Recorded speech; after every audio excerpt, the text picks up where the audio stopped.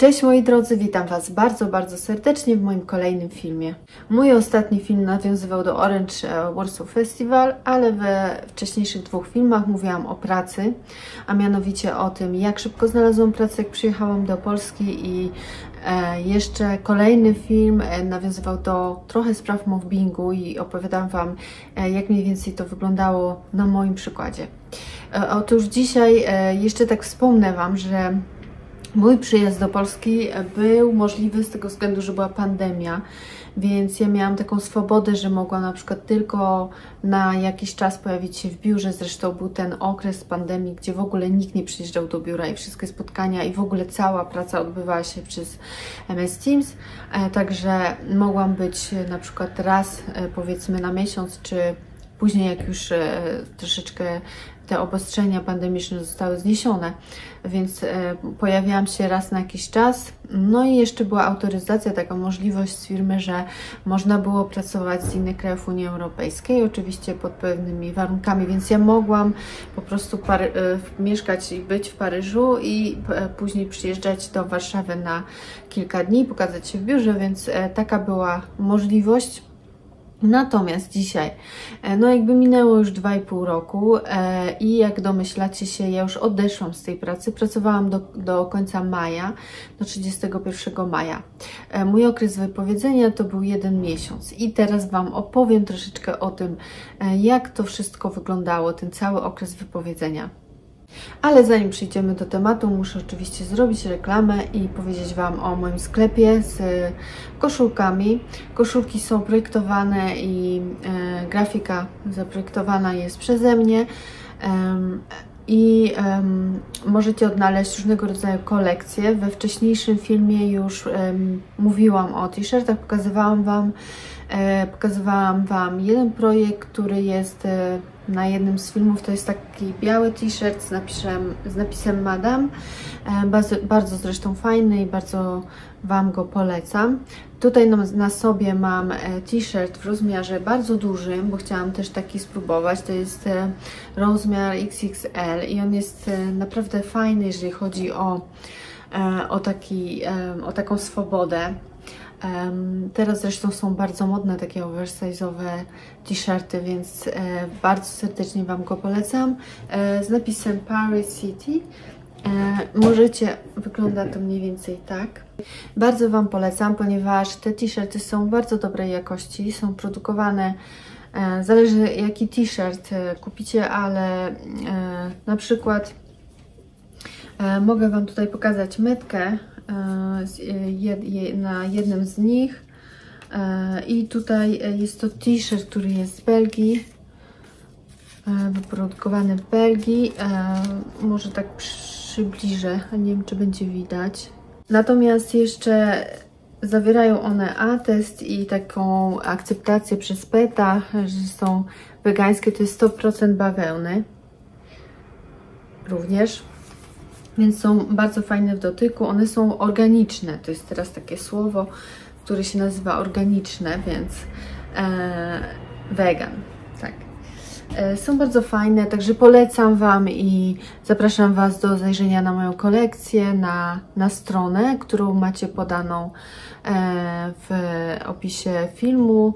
E, I jeżeli macie jakiekolwiek pytania, to śmiało piszcie albo w komentarzach, albo e, możecie do mnie napisać na maila, więc zapraszam Was do kontaktu, e, jeżeli chcielibyście na przykład mieć jakieś specjalne zamówienie. No dobra, przejdźmy sobie teraz do tematu filmu, bo pewnie większość z Was, jeżeli tutaj wchodzi na mój kanał, to to właśnie chciałabym mniej więcej usłyszeć, a ponieważ ja staram się mówić e, prawdę i staram się Wam mówić po prostu, jakie są moje odczucia i to, co ja naprawdę przeżyłam, więc e, chcę nazywać powiedzmy rzeczy po imieniu. I tak jak mówiłam Wam o mobbingu, to mam nadzieję, że będę w stanie Wam mniej więcej nakreślić tą sytuację i, i dać Wam taki jak najbardziej prawdziwy obraz tego, co się wydarzyło podczas mojego okresu wypowiedzenia. No niestety zakończenie współpracy z firmą e, nie było takie cukierkowe i kolorowe, więc jeżeli ktoś z Was przechodził przez takie rzeczy i ma podobne odczucia jak ja, to nie martwcie się, nie jesteście sami. Po prostu chcę Wam powiedzieć prawdę i nie chcę udawać, że wszystko było fajnie, bo tak nie było. E, w moim przypadku uważam, że wina leżała bardziej po stronie pracodawcy i że jego działania spowodowały to, że ta cała sytuacja i że ten okres wypowiedzenia był bardzo stresujący dla mnie, no a dla nich nie wiem, chyba raczej nie, no ale nie była to też jakby komfortowa sytuacja. Zacznę może od tego, że ja miałam jeden miesiąc wypowiedzenia, więc e, swoją pracę zakończyłam już 31 maja. E, o e, mojej rezygnacji i odejściu powiadomiłam osobę zarządzającą naszym zespołem już tak na początku kwietnia, bo już wtedy podjęłam tę decyzję i wiedziałam, że odejdę, natomiast nie wiedziałam jeszcze dokładnie kiedy, ale wyklarowało się już w ciągu kilku dni ze względu też na zachowanie osoby zarządzającej, e, że po prostu to będzie 31 maj. Jeżeli obowiązywał mnie jeden miesiąc wypowiedzenia, to e, jakby nie liczy się ten miesiąc od dnia, w którym informuję i jakby składam wypowiedzenie do HR-ów, tylko jeżeli na przykład bym złożyła wypowiedzenie, powiedzmy, nie wiem, 10 kwietnia, to i tak do 31 maja musiałabym pracować, bo liczy się od następnego kolejnego miesiąca, tak, czyli, czyli jakby cały maj to obejmuje. Nie wiem, czy wiecie, ale w korporacjach jest coś takiego, że rok finansowy e, zaczyna się od października. E, jakby jest takie całe podsumowanie we wrześniu, e, no i dawanie wszystkich feedbacków, jakby zakładanie nowych e, strategii. Też e, jakby przez każdy pracownik musi wyznaczyć sobie cele na kolejny rok. No, są takie podsumowania na przykład też w właśnie w tym okresie październik, listopad z menedżerami, w zależności od tego, jak tam czas pozwala, że się dostaje też ocenę jako pracownik. No i później jest jeszcze ten kolejne miesiące takie ważne, no to jest marzec, gdzie już te strategie wdrażane są pełną parą i, e, i tutaj się dzieją właśnie e, takie bardzo ważne rzeczy, bo dzieją się bardzo ważne decyzje, no i e, często właśnie są zwolnienia, często właśnie w tym okresie odchodzą pracownicy. Natomiast no, w każdym miesiącu jest dużo odejść, ale E, ale ten okres przed wakacjami jest taki, że dużo się dzieje. No i co się działo przez ten okres czasu, kiedy ja miałam to wypowiedzenie? No, był to miesiąc. I powiem że, Wam tak, że atmosfera zupełnie się odwróciła, więc cała, y, cała ta sytuacja zmieniła właściwie e, y, moje położenie. To, że na przykład już y, postanowiłam odejść z pracy, zostało tak zrobione i tak przedstawione, tak jakby musiała zostać ukarana za to, że odchodzę i żebym żałowała, że odchodzę. I pracodawca starał się tak y, zmienić jakby y, całą tą sytuację, żeby y, nie wyszło to tak, że on jest w jakiś sposób winny, że ja podjęłam decyzję o odejściu. No, decyzje o odejściu ludzi y, z pracy są bardzo różne, tak? Od na przykład tego, że po pierwsze, że na przykład jest, jest e, niezadowolenie z wynagrodzenia, e, że na przykład jest zła atmosfera w grupie, że na przykład nie ma możliwości rozwojowych. No, to są najczęstsze powody odejścia z pracy i pracodawcy jakby, no w moim przypadku było tak, że ten pracodawca chciał się bardzo uchronić od tego, żebym ja nie podawała takich powodów. Moje powody były różne. E, były też między innymi dotyczyły tego, że ta atmosfera się popsuła e, od trzech miesięcy przed e, moją decyzją.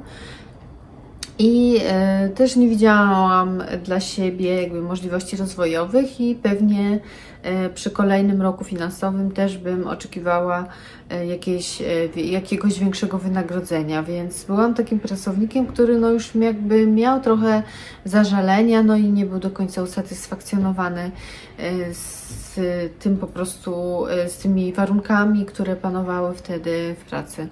Ja na dzień dzisiejszy żałuję, że nie poszłam na zwolnienie, ponieważ no mogłam mieć taką możliwość i mogłam po prostu spokojnie na przykład już przez ten miesiąc y, y, czasu nie pracować i być odcięta od tej całej atmosfery. Atmosfera była bardzo kiepska. E, no i w ogóle przez ostatni tydzień, e, który mi jeszcze został, ona się bardzo popsuła. Popsuła się ostatnią rozmową z moją przełożoną, a mianowicie jej feedback i podsumowanie mojej pracy było takie, że bardzo skrytykowała pewne rzeczy, to jak pracowałam na przykład, nie wiem, przez ten właśnie ostatni miesiąc, e, mówiła o tym, że grupa była niezadowolona, co nie było prawdą, bo ja się dowiadywałam od osób, z którymi pracowałam, które były na, na tym samym poziomie co ja.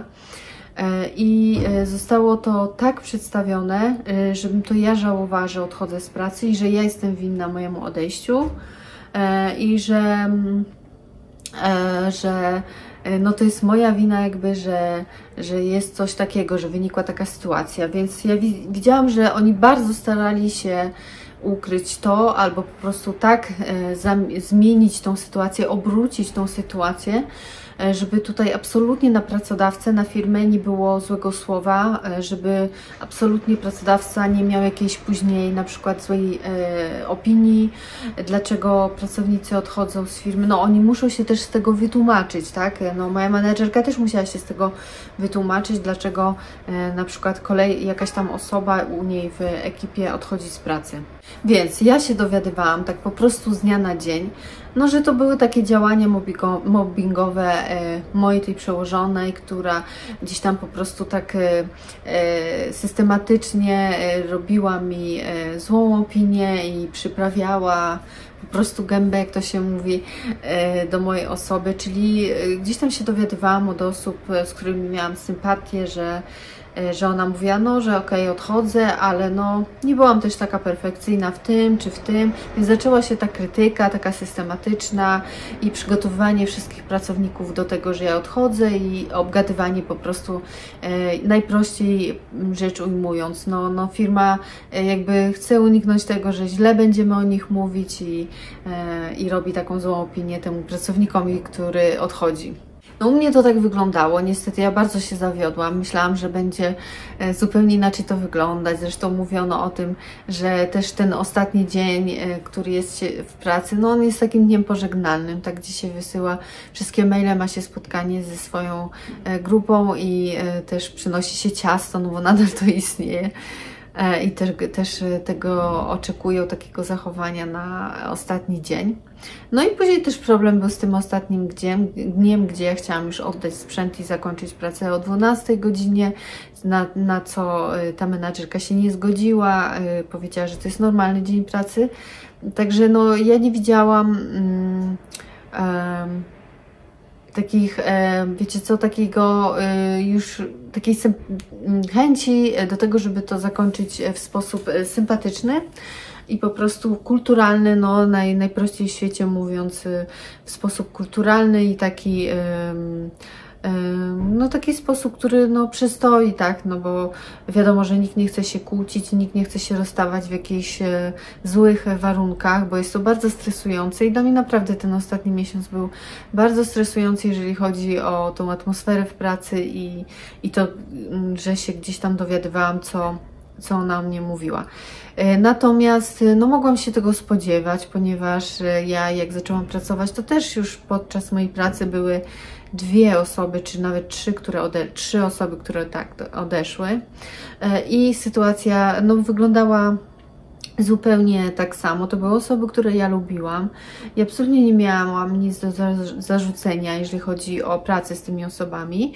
E, natomiast no, już po ich odejściu to menadżerka zachowała się w taki właśnie sam sposób, czyli po prostu źle o nich mówiła. No, z, za każdym razem, jak już te osoby odeszły, no to wtedy znajdowała jakieś powody. No pewnie, że pewnie ta osoba odeszła, ponieważ ponieważ stresowają to czy tamto, czy nie radziła sobie z tym, czy, czy, czy z innymi po prostu zadaniami. Więc no tak wyglądała, to tak wyglądało jej zachowanie po odejściu innych osób, więc ja się też spodziewałam tego, mogłam się tego spodziewać, że, że prawdopodobnie no też będzie to podobnie wyglądać. E, jeszcze Wam dodam, że e, w korporacjach jest coś takiego, że na koniec, przed Waszym ostatnim dniem, albo wypełniacie ankietę, taki feedback dajecie, dlaczego e, odchodzicie z pracy, albo mm, decydujecie się na przykład na rozmowę z HR-ami na temat powodów Waszego odejścia. Ja wybrałam anonimową ankietę. Oczywiście ta ankieta, ona nie jest taka do końca anonimowa, ponieważ tam się podaje konkretny dział, w którym się pracowało, podaje się konkretną grupę, e, więc no po tym, co ja musiałam wpisać, oczywiste było, że dokładnie wszyscy wiedzieli w jakim, e, że pracowałam w grupie Talent Acquisition i że był to e, międzynarodowy zespół, więc był tylko taki jeden, więc wiadomo, że był to zespół akurat tej, tej menadżerki. Powody podałam e, szczere, czyli to, co po prostu myślałam, że e, był mobbing w pracy, manipulacja, że było po prostu szukanie na siłę takich konfliktów, no i niestety, ale krytyka, która właśnie przez ten ostatni miesiąc była jakby takim codziennym działaniem tej menadżerki. E, gdyby nie ten ostatni miesiąc, na pewno dałabym bardzo dobry feedback i e, bym była bardzo zadowolona w sumie, ale ten ostatni miesiąc pokazał mi, e, no jak wygląda tak praca i taka rzeczywistość, jeżeli chodzi o korporacje.